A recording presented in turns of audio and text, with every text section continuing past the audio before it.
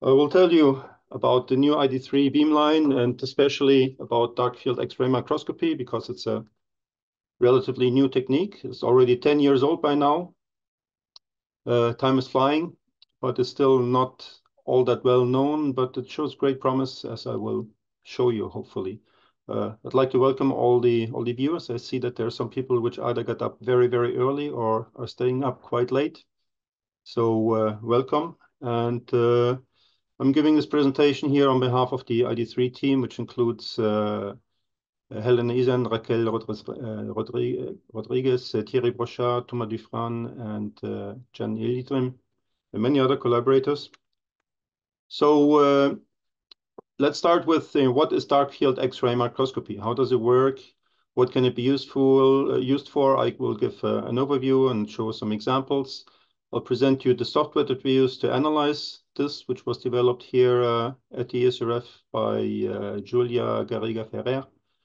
And uh, finally, the, the new beamline, which is optimized for this technique and which is welcoming users now it's currently under commissioning, but uh, the first user experiments are already uh, scheduled, uh, starting in the end of March. Uh, down below here, uh, for people that are looking on YouTube, for example, there's some publications that explain the details of the technique for reference. So what is X-ray, dark field X-ray microscopy, and how does it work? What we do is uh, a combination of X-ray topography where you put a sample into the beam and you align the Bragg reflection and then you do imaging on the Bragg diffracted beam and X-ray microscopy where you put a, a, lens in between the sample and the detector which magnifies the image and uh, in that way uh, increases the spatial resolution.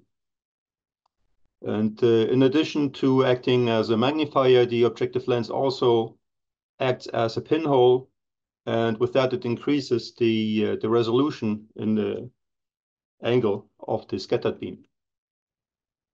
So uh, by combining these, uh, these two techniques and uh, especially rocking curve imaging, where you not only take one image of the diffracted beam, but where you can take images as a function of the sample angle, we can get a lot of information about the sample and uh, in particular about the Bragg planes. We have a detector that has a resolution of about one micrometer. The X-ray lens, uh, the compound refractive lens, uh, magnifies the image by a factor of 10 to 30. And that then gives a resolution at the sample in the order of you know, 100 nanometers to 30 nanometers in the ideal case. In practice, uh, uh, it's a little bit limited by the quality of the lenses. It's a full field method that means that you get a complete image of the of the sample at uh, at each exposure rather than uh, when you scan a, a, small beam across the sample where you need to scan the whole sample uh, with many data points before you get a complete image. It has a high spatial resolution and also high angular resolution at the same time. And it's a diffraction technique, which means that it's uh, sensitive to details of the crystal lattice. It's complementary to um, electron microscopy, and uh, in particular TEM, transmission electron microscopy. We have a worse spatial resolution, as was already mentioned, of about 150 nanometers compared to picometers that you can get with electron microscopy. But we have the big advantage that by using hard X-rays, we uh, we have a large penetration power, so we can use relatively large samples on the order of you know a millimeter or half a millimeter. Uh, depending on the material. We do not need to do very special surface treatments compared to electron microscopy, where you need very, very thin slices, and typically these are prepared in a destructive way. We have a very good angular resolution, which means we have a very good strain resolution. It's about 100 times better than standard TEM. And uh, because we use X-rays, we can have the sample in air or inside inside a liquid, for example, or inside the capillary, and we do not need ultra-high vacuum, which very strongly limits what you can do with the sample. For example, we can do electrochemistry, we can do uh, uh, gas atmospheres uh, and things like that. So uh, the main advantage really is that we can use bulk-like samples, and we can, because of that, we can actually follow the evolution of the sample during in situ processing. For example, in metals annealing, uh, applying temperature and watching how defects in the crystal react to uh, to the temperature and evolve. We can apply electric fields to ferroelectrics or functional materials. We can apply mechanical strain, which means we can pull on the sample and plastically deform it and see how it reacts. All these uh, things we can do in a non-destructive way, meaning that we can take a measurement of the sample, see what it looks like, then do a modification like mechanical, plastical deformation, or apply a temperature step, and then see how uh, the same sample has transformed, how it has reacted. And we can do that in many steps and follow samples along the way. And we'll actually show you a couple of examples about that. Uh, this is important because real materials are actually multi-scale materials. You go from uh, length scales on the millimeter size, for example, of a of a battery, to a smaller structure of the uh, 10 micrometer size, where you have anode structure with grains and and crystalline particles. Then on the surface of those in a battery, you can have damage on the surface because of migration of lithium or others. If you go more into details, you can see what these cumulative defects, how they are composed of uh, individual defects like dislocations or or tiny cracks or things like that, which are much smaller than the micron scale. And finally, you can go to uh, individual atoms and lattice uh, disorder. That is something that we cannot do with this technique, where we can cover the length scales from a millimeter or sub-millimeter down to 100 nanometers or a little bit larger than that. And that is important for all kinds of uh, structural materials, functional materials. Metals is very important, ceramics, um, minerals like geological minerals, but even uh, biomaterials and biominerals like uh, seashells, for example, is an example that we have looked at. So by being a diffraction technique, we are exploiting Bragg's law. And in Bragg's law, you have the wavelength, which is the wavelength of the X-rays. You have the lattice parameter d, and you have the angle between the X-ray beam and the uh, the lattice planes uh, uh, theta. And if you have um, a distorted lattice, then several things can change. For example, the d-spacing can change. That's shown on the right here, which means that the uh, the crystal unit cell is stretched in a direction. The lattice can rotate. For example, if a uh, crystal breaks up into uh, into grains or small subgrains with small angle boundaries in between the grains, or you can have shear strain, which is more typically an elastic reaction where the the crystal you know, goes from a cubic or square shape to this rhomboid shape. And these two uh, rotation and shear strain will change the angle between the X-ray and the lattice planes. And we can make images of how the lattice planes are oriented within the sample by using our technique.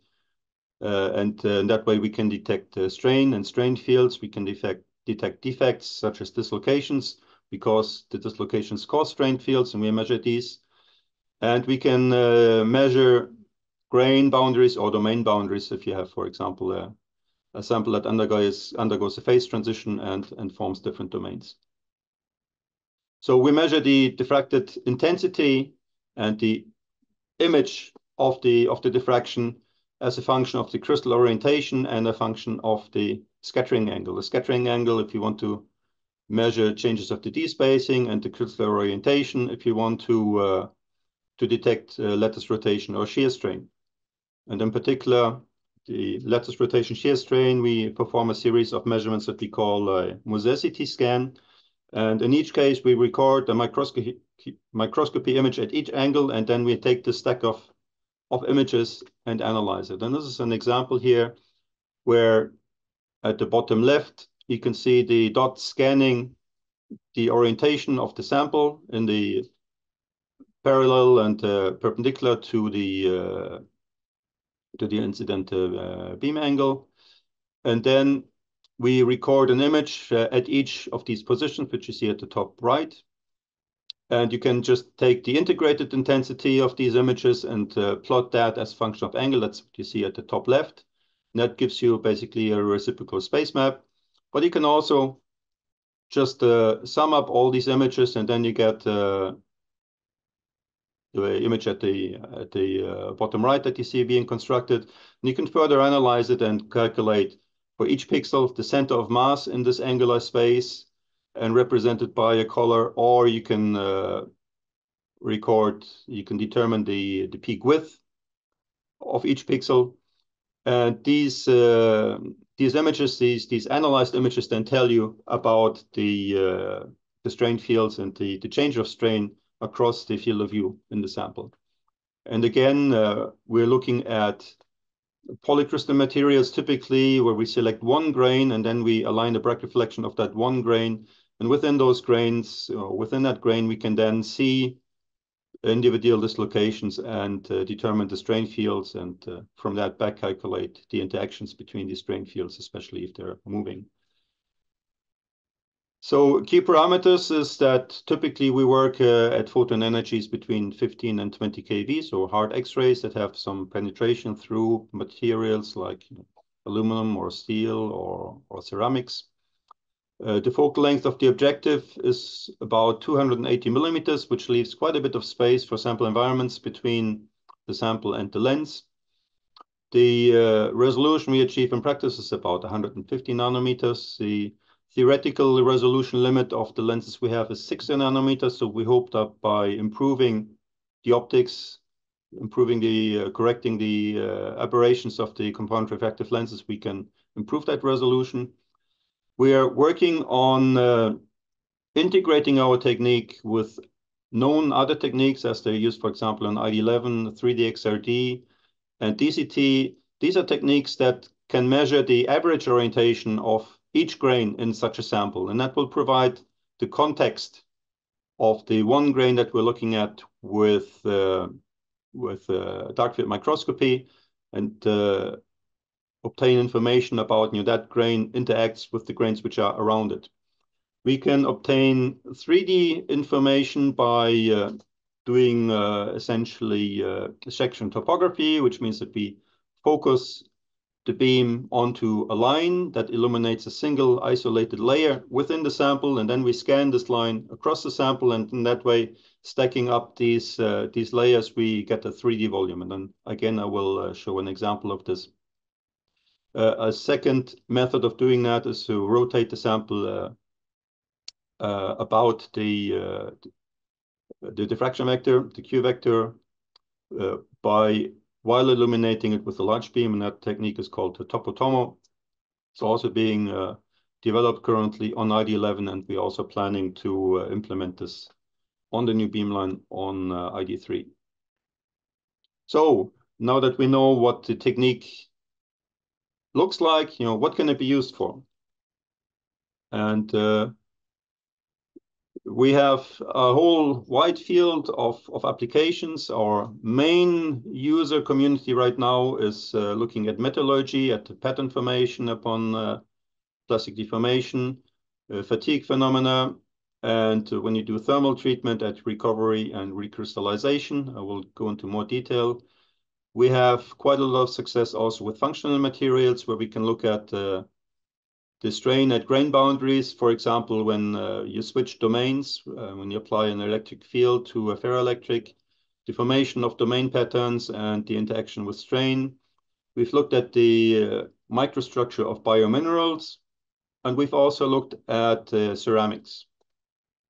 And in the future, we hope to also look at uh, geological uh, minerals, and so there's there's room for more here. So the first example I'm going to show is about metallurgy.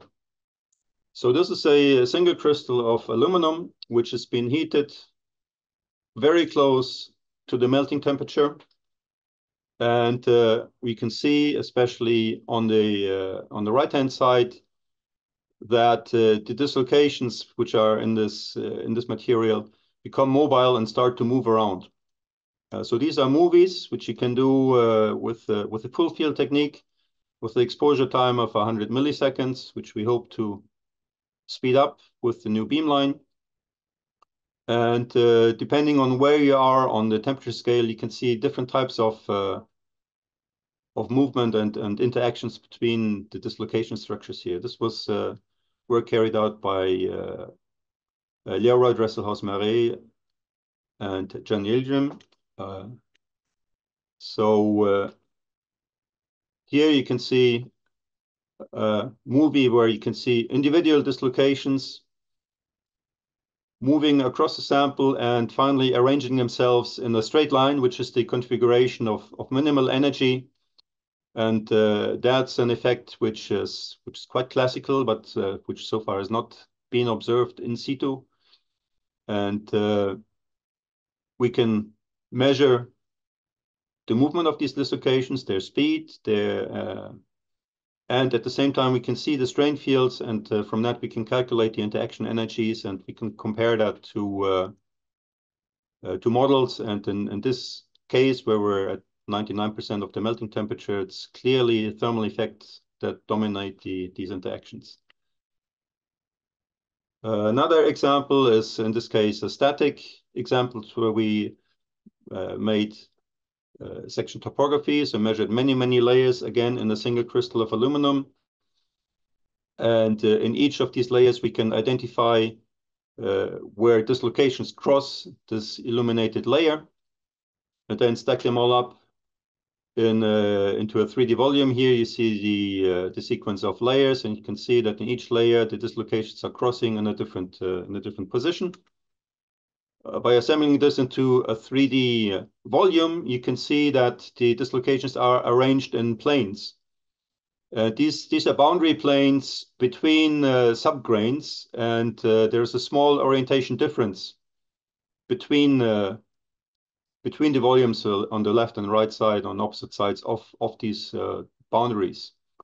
And in this case, we carefully analyzed the orientation of these boundaries because there's also theoretical models that predict in which direction the dislocation lines should run and which direction they should uh, then arrange to form a plane and uh, again compare this to, to models. Again, work from Can Yildirim and uh, Henning Poulsen and uh, Leora Dresselhaus-Marais. Uh, next example is on functional materials. This is work that was carried out by the group of Hugh Simons, uh, looking at uh, barium titanate. And in this case, we can very clearly see ferroelectric domains on the on the left. You can see the domain walls very clearly. But we can also see the lattice strain. And uh, we see that the lattice strain actually extends over length scales that are comparable or even larger than the typical domain size. That means that the entire domain is strained, which means that with uh, throughout the entire domain, the, the, symmetry of the crystal is, is broken, and that removes uh, several selection uh, criteria for for uh, which are imposed by symmetry or, would, or which would be imposed by symmetry in a perfect crystal on how uh, the crystal can react to electric fields, how the electric polarization of the domains can rotate, for example. So this this is uh, is quite important because theoretical models always assume that you have a perfect crystals and that domain boundaries are just just lines on on paper, and then you have a perfect crystal on the left and on the right side of the domain boundaries. This work here very clearly shows that this is not the case. Good. So uh, here you can see that uh, these measurements were performed first on a on a sample before it sees an electric field, and then you can apply, start applying electric field and go through the hysteresis loop and see how the domains grow, how the domain types change. On the the sec on the first two images, we have a lot of images which are aligned in one dire diagonal direction, and then when you start to apply field, the main domain boundaries are actually oriented at 90 degrees to that.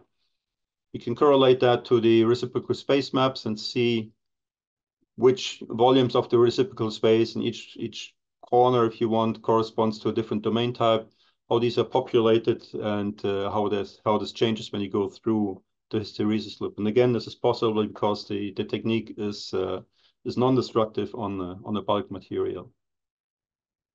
Good. Uh, just a very brief introduction of the software that we have. Uh, it's called Darfix. Uh, it's a workflow package, and uh, it contains a series of widgets which you can chain together for all essential steps in the data processing, like data selection, you know, which scans do you want to analyze, pre-processing for removing noise, hot pixels, selecting a region of interest, uh, correcting for background, and then the main processing steps like detecting a center of mass uh, or variance, uh, peak width. We can fit one and two-dimensional Gaussians. And uh, a more experimental module is uh, the blind source separation module, which uses uh, principal component analysis and non-negative matrix factorization to automatically, without uh, operator interaction, can detect uh, domains and, uh, and, uh, subgrains and so on in uh, in these scans. this is by now published. I should update the slide. So here you can see an example where we have a first widget on the left where we select data. It automatically detects metadata like motor positions. And the user can then confirm that this is really the scan direction that we want to analyze. You can select the region of interest, remove noise, just following from the left to the right. Apply a shift correction, which corrects for a mechanical uh, alignment error when uh, when we do scans that the, the center rotation is not exactly within the, the grain that we're looking at. That will then, if you rotate shift the image, which each angular step, so that can be corrected. And then we get uh, as output rocking curves or grain plots and, and blind source separation. And all this is implemented in a very nice and user-friendly package that is uh, open source. So uh, everybody that wants to contribute to the project is, of course, very welcome to do that You can also look at the source and see how exactly things are done. It's maintained by the ESRF, so if there's requests for features or bug reports, uh, they can report it uh, to us and uh, we'll take care of that. And this this is a very big step forward to compared to the early days when basically for each experiment we had to write our own Python or MATLAB scripts to to analyze the data. And finally, we'll get to the new beamline, ID3, uh, which is um, now undergoing commissioning. So ID3 replaces uh, ID6 HXM, which is which was the place where the the technique was first developed about 10 years ago and has been an user operation uh, for about a year before the EBS shutdown and one and a half years after the EBS shutdown. Um, and the uh, idea of the project is to build a fully optimized beamline for dark field microscopy as a dedicated beamlines. It means that we double the amount of beam time that's available. Before it was time shared which, uh, with a large volume press on ID6. We um, have a pink, pink beam option now, which provides almost 100 times more flux than before. We have one of the latest generation cryogenic permanent magnet undulators, U16, which produces uh, many, many, many photons. Uh, and we are uh, getting a new sample goniometer that's op optimized for topo-tomo uh, measurements for, for 3D volume measurements of the, of the sample. So the the new beamline reuses the end station that was built and was developed on ID6, which was fairly recent there also, and which is already well optimized. But all the beamline optics and all the infrastructure around it is uh, is built from scratch, and uh, the project is now nearing completion. So one and a half years ago in March, there was uh, empty floor on ID3 then we started to, to receive the wall panels for the radiation hutches. We had to do a modification of the floor to be able to support the 20-ton uh, granite bench. Uh, then last, about a year ago, we had the new floor ready for installation of the instrument, and that's also the moment when the operation on ID6 stopped because we had to dismantle the bench and then put it in place here on uh, ID3. And uh, now we have the optics almost fully installed, and the bench has found its new home in the in the new hutch, and there's still a bit of cabling work going on. But we have now completed the radiation test on the optics hutch and the experiment experiments hutch. We have the pink beam, uh, which is a scary intensity. And uh, we're looking forward to welcoming the first users uh, after the March shutdown next year. And with that, uh, thank you very much for your attention.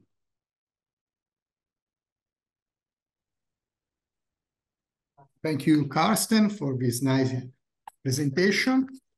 So uh, I see that there are some questions, uh, and I invite you, all the participants, to uh, make their question using the answer uh, uh, question, not the chat. Uh, so the first question is by Andrei Petukhov. Thank you, Carsten, for the overview. How about bright field microscopy, for example, for colloidal crystals? Yeah, Andre. Andre has actually also been one of the early contributors to the project on uh, on ID6 still, and we have done some experiments on colloids with him. This will be possible on uh, on ID3 also uh, in, in small angle scattering, and uh, basically simply by driving the detector down into the into the bright field beam into the straight beam. So uh, yes, it can be done. Okay. Uh, in the meantime, uh, there are no questions. I have got one for you. I see at the end that uh, you are uh, going to provide beam time uh, in the next month. So this, uh, there will be, be possibility to apply proposal for the with the next call for proposal? yes, actually already the proposal call in September was open and ah. we've received uh, 14, approximately 14 proposals, and we've accepted 10 of them uh, that will be carried out in the uh, in the run starting in uh, in uh, March uh, until the summer. Okay, so I don't. Okay, there is another question by Didier Vermeil. thanks, Carsten. How big of a volume can you scan? The field of view that we have uh, is typically about 100 micrometers. So in Topo Tomo, it would be 100, uh, 100 uh, micrometers diameter and 100 micrometers high. Uh, if you do a layer by layer scan, then of course uh, the question is how much time you have. You know, how many how many layers can you stack up? We have another question by Andrei Petukhov. Can you explain in more detail what do you mean by 0.001% strain resolution? Yes. Um, that is is calculated basically from the uh, from the angular resolution, which is limited by the divergence of the incident beam and by the angular acceptance of the diffracted beam. The um, resolution function is not symmetric. So not not all strains have this very high resolution, but the uh, if you put in a, a silicon crystal, for example, you would be able to to measure that in the rocking direction because the divergence of the incident beam is is very very small. Basically the rocking curve resolution. Okay. Uh, I've got another question. Uh, okay, no, we have another question of a participant by Charles McMonagle, what sample environments do you currently have available? So we mostly rely at this point on sample environments from the from the pool, ESRF sample environment pool. So we have a cryogenic gas stream, a liquid nitrogen stream, which gets us down to about 100 Kelvin. We uh, use the hot air blower from the sample environment pool, which gets us to um, uh, about about seven or 800 degrees. Uh, it's it's actually quite difficult to precisely measure the, the temperature because it depends very much on how close you can get the nozzle to the sample. And we are we have users that have provided um, a, uh, a strain cell, so a, a, load cell where you can apply mechanical strain to the sample. We will uh, work on making a version 2.0 of an infrared furnace that can get up to a thousand degrees. So it's very interesting for steel research, for example. Uh, that is not available yet, but that is, uh, a project for, the next year to develop that. And then users can bring their own environments, of course. Uh, we've had people bringing uh, cells for applying electric fields, for applying electric pulses for, pulse heating and, and things like that. Okay, we have a question by Leonardo Soares de Oliveira. How fast the acquisition of the strain scans will take in comparison to the old ID6 setup? So we um, we have a new detector which should provide uh, about a two times better signal to noise ratio, so that should double the speed. And then we hope to get in the monochromatic beam at least three times more intensity than before. So that would be a factor of six faster than uh, than before under uh, identical conditions. Thank you. I got a question by Didier Vermeil. How much is the scary flux you have with your INVAC undulator pink beam? We haven't really measured it yet, but the um, calculations show that in the uh, most extreme case, the power, the beam power in the pink beam is up to 140 watts in about one square millimeter. So that's that's quite scary for me. We have a question about Alexandra Chmakova. What is the minimum sample size and average size for single crystal or multi-scale object? Yeah. So the, the minimum size, typically we, we try to get grains or crystalline uh, elements uh, on the order of about a micrometer because that way we can get something like 10 pixels to be able to see something inside that inside that object. Um, having much smaller objects basically you can resolve anything. So I don't think it's so interesting. The dislocation core is very small, but the strain fields around the dislocation core extend over a very long distance, so we can see them because of that. Um, the field of view, as I said, is about 100 micrometers, so that's uh, often a typical sample size, but we can we can penetrate uh, samples without losing all of our intensity which are on the order of uh, of a millimeter or so uh, for not too high Z materials. So for aluminum or for for oxides, that usually works quite well. Okay, we have a question by Carsten Richter. How the aperture of the objective lenses and therefore the relevant acceptance angle impacts on the imaging? How is the high resolution in 2 theta actually assured? The high resolution in 2 theta is comes from the fact that you have a uh, an effective aperture of the lens which is about 300 micrometers at a distance of about 300 millimeters from the sample. So that's uh, about um, about a milliradian simply because the lenses absorb and the absorption increases if you go away from the from the optical axis. Um, the uh, the aperture of the lenses, of course, imposes a diffraction limit.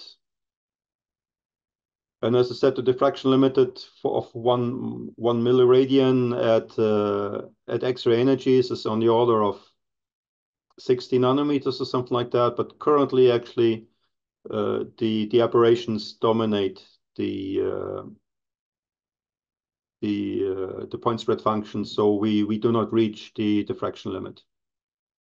And finally, um, typically what we do is we we measure in transmission with uh, by illuminating a line beam, and then of course you see a projection of the illuminated layer, uh, looking at at the plane from the angle of the diffracted beam, which is uh, 15 degrees or something like that. With the diffraction, the, the 2 theta angle is 30 degrees.